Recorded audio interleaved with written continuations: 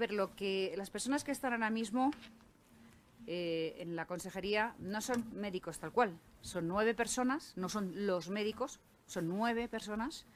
La mayoría de ellos son liberados sindicales, que como bien se ha escuchado en estos audios de estos días, un audio escandaloso, esto lo quieren prolongar hasta las elecciones, eso sí, no haciéndolo ni los viernes ni los lunes. Y desde luego ayer actuaron con mala fe, porque fueron a una reunión a la consejería con el objetivo de ocupar ilegalmente un espacio público. Ya iban preparados para ello.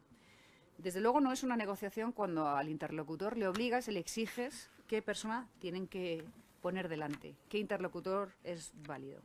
Y eso solo es propio de personas que después utilizan dinero público para poner autobuses para manifestaciones. Es todo lo que se está a veces tejiendo en torno a, a estas protestas, que va mucho más allá de las loables pretensiones de los médicos de mejorar su situación.